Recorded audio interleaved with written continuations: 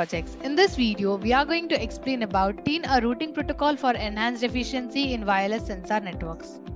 Introduction Rapid technological breakthroughs in recent years have catalyzed the evolution of wireless sensor networks, ushering in a new era of monitoring and control across a wide range of applications. The implementation of wireless sensor networks for structural health monitoring and failure prediction is one such application that is gaining traction. This novel concept involves the placement of swarm of tiny wireless sensors throughout a structure allowing for continuous real-time monitoring of its conditions from both inside and outside.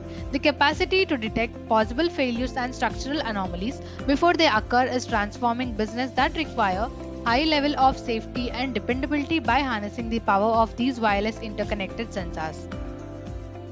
Coming to objective, the goal of the project is to improve the energy efficiency of the wireless sensor networks which are WSNs used for environmental monitoring. The project intends to reduce energy usage while retaining data accuracy by adopting the TEEN, which is Threshold Sensitive Energy Efficient Sensor Network Protocol. TEEN uses hard and soft thresholds to transmit data selectively, saving energy by avoiding redundant transmissions. Implementation of the protocol enhances WSN scalability, accuracy, and endurance, making it suited for real world scenarios such as medical, monitoring, agriculture, and traffic control.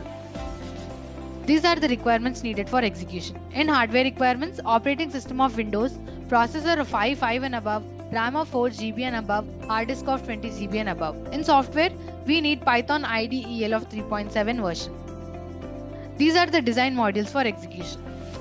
First one is generate WSN network. Using this module, we will generate some virtual sensors.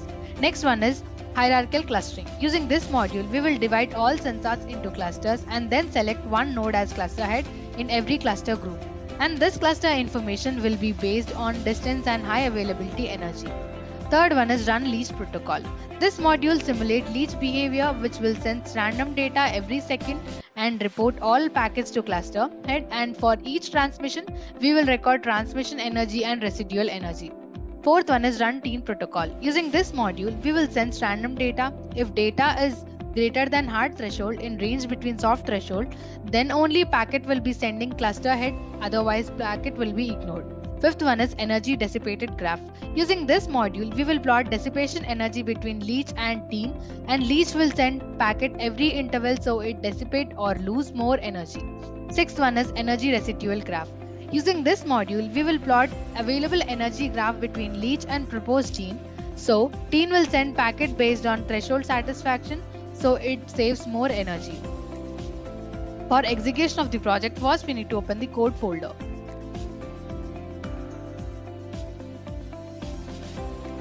This is the code folder of the project and this is the Python main code file and this is the run.bat file. Instead of executing the project in command line interface, we have created Windows batch file for execution. So double click on it for execution.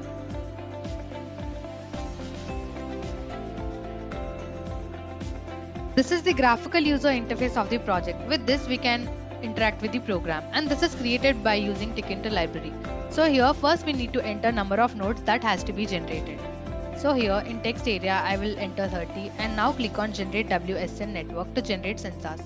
So all the red color are the normal sensors and blue color is the base station. Now I need to give node ID and hard threshold and soft threshold to send the packet information based on the thresholds. So here I will select node 8 and now hard threshold as 20 and 30 as soft threshold. Now I need to click on the button run LEACH protocol to send the packet information.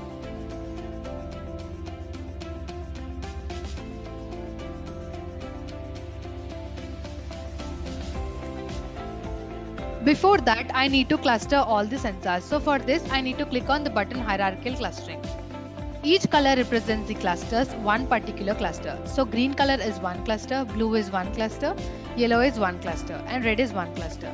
So for every cluster, there is a cluster head. So for green, this is the cluster head, and for blue, this is the cluster head, and for yellow, there is cluster head. Similarly, we will have for red also. Now we need to uh, send the information. For this, I need to run on the button run LEACH protocol. So here, MN8 sensor is sending information to cluster head 7 and then it is sending to nearest neighbor MN0 and then at last it is sending to base station. Now we need to run LEACH TEEN protocol. So here also it is sending in same way but the black line is appearing less times which means it is consuming less energy. Now we will test with other node IDs also. So here MN10 is sending information to CH26 which is cluster head and then it is sending to nearest neighbor which is MN3 and then it is sending to base station. Now I will click on the button run TEEN protocol. Here also it is running, uh, it is sending information from MN10 to CH26 and then it is sending to MN3 and then to base station. Similarly, we can test with all other node IDs also. Now click on the button run energy dissipated graph. So here on x-axis we have number of transmission and on y-axis we have energy dissipation. Green is LEACH dissipation, blue is TEEN dissipation. Among both the lines, uh, TEEN dissipation is consuming less energy. Now I will click on the button energy residual graph. Here on x-axis I have number of transmission and on y-axis I have residual energy of that particular TEEN or leach. So green is leach and blue is TEEN. Leach uh, is consuming more energy and TEEN is consuming less energy. Now I will click on the button TEEN energy dissipated graph. Here on x-axis I have number of transmission and on y-axis energy dissipation. So this is the energy consumption which is dissipation energy consumption of TEEN.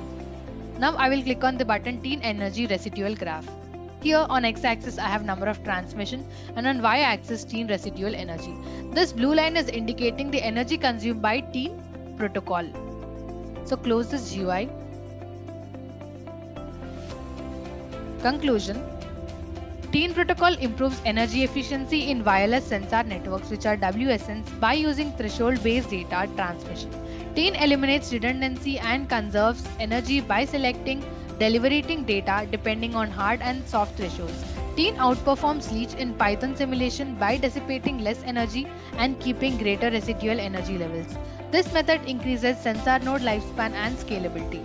TEEN practical applicability to real-world circumstances highlights the technology potential to revolutionize environmental monitoring and other WSN applications after long-term data collecting while maximizing energy utilization of network operation. Thank you for watching video. For more projects please visit our website www.truprojects.in. For updates on latest project videos, please visit TRU Projects YouTube channel and subscribe.